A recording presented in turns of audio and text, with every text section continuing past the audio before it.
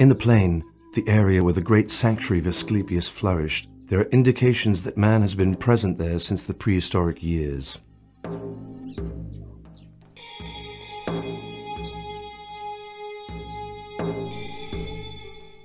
There are also indications that worship in the central area of the Asclepieion possibly began in the early Hellenic years, namely from the 8th to the 7th century BC.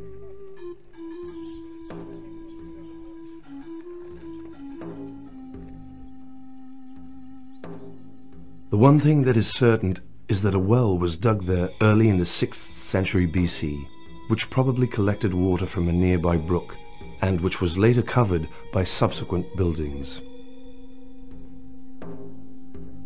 This ensured the supply of water, a crucial element for worship. A little further to the south, an altar of ash was established, similar to the one on Kynortion, and a small temple was built next to it.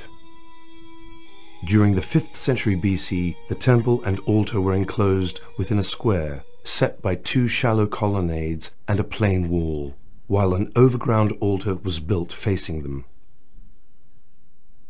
Findings in the altar of ash tell us that here were venerated both Apollo and Asclepius together.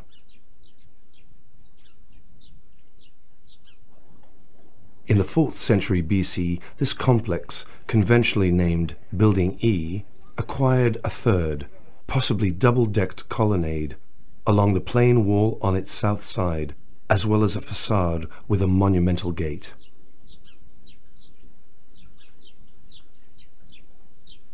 The year 375 BC saw the beginning of the ambitious monumental building construction project in the Asclepieion. We know this program relatively well from inscriptions detailing the building's administrative and economic data. It began with the Asclepius Temple in the south, the construction of which took five years. It was very close to the sacred well. The temple was built of sandstone, with 6 times 12 Doric columns in the peristyle and an interior Corinthian colonnade. It was decorated with marble sculptures on its pediments, depicting the sack of Troy and an Amazon fight, and had a marble acroteria which were freestanding statues at the top and corners of the roof, depicting the statues of Nike and Nereids, created by great sculptors of the day, such as Timotheus.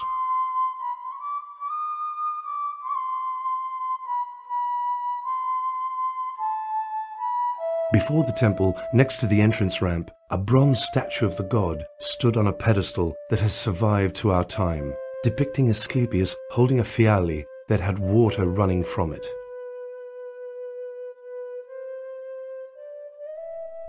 The building, which is called Avaton or Enkymitherion, closes the central sanctuary area from the north side. This 70-meter colonnade was the place where patients slept, expecting Asclepius to come in their sleep to heal them or suggest a cure to them. This process was called incubation, enkymisi.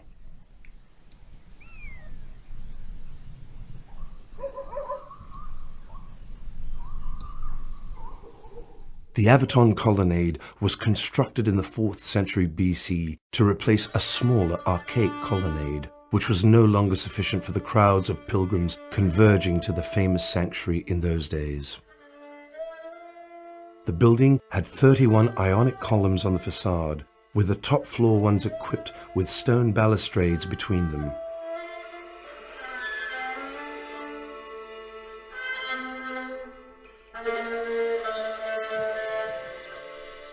From this it is clear that the colonnade was accessible only to those who participated in the mystery of miraculous healing. This was the meaning of the name Avaton, namely an area that could not be accessed, stepped upon by a non-accredited person.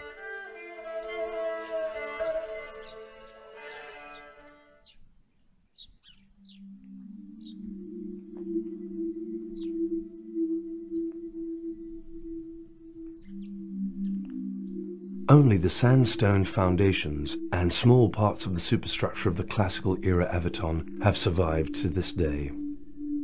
The building was probably destroyed by the destructive earthquake in the 6th century AC.